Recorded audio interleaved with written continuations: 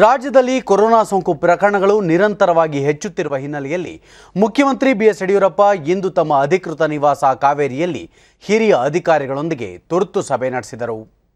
ಆರೋಗ್ಯ ಮತ್ತು ವೈದ್ಯಕೀಯ ಶಿಕ್ಷಣ ಸಚಿವ ಡಾಕ್ಟರ್ ಕೆ. ಸುಧಾಕರ್, ರಾಜ್ಯ ಸರ್ಕಾರದ ಮುಖ್ಯ ಕಾರ್ಯದರ್ಶಿ ಪಿ. ರವಿಕುಮಾರ್ ಸೇರಿದಂತೆ ಹಿರಿಯ ಅಧಿಕಾರಿಗಳು ಸಭೆಯಲ್ಲಿ ಉಪಸ್ಥಿತರಿದ್ದರು.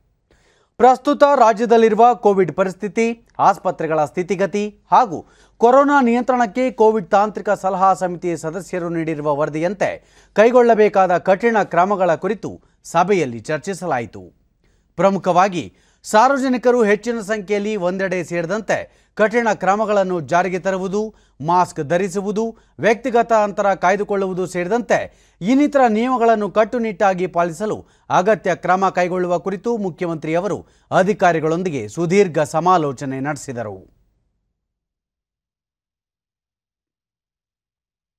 ಸಭೆಯ ಬಳಿಕ ಮುಖ್ಯಮಂತ್ರಿ ಬಿಎಸ್ ಯಡಿಯೂರಪ್ಪ, ಅತಿ ಹೆಚ್ಚು ಸೋಂಕು ಪ್ರಕರಣಗಳಿರುವ ಎಂಟು ನಗರಗಳಲ್ಲಿ ಇದೇ ಇಪ್ಪತ್ತರವರೆಗೆ ಕೊರೋನಾ ರಾತ್ರಿ ಕರ್ಫ್ಯೂ ಜಾರಿಯಲ್ಲಿರಲಿದ್ದು ಬಳಿಕವೂ ಅದನ್ನು ಇನ್ನಷ್ಟು ದಿನ ಮುಂದುವರಿಸಲು ನಿರ್ಧರಿಸಲಾಗಿದೆ.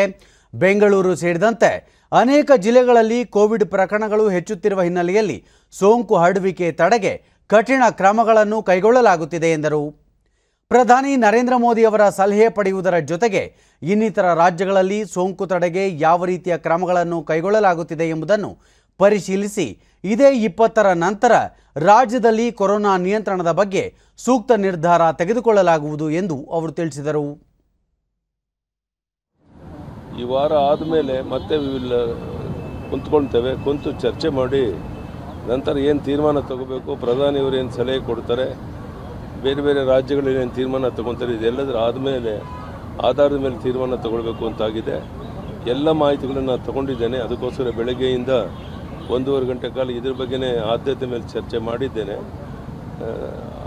ಏನೇನು ಕ್ರಮ ತಗೊಳ್ಬೇಕು ಆದಷ್ಟು ಬೇಗ ನಾವು ಇಪ್ಪತ್ತನೇ ತಾರೀಕು ಮತ್ತೊಮ್ಮೆ ಅಧಿಕಾರಿಗಳ ಜೊತೆ ಕುಂತು ಚರ್ಚೆ ಮಾಡಿ ತೀರ್ಮಾನವನ್ನು ತಗೊ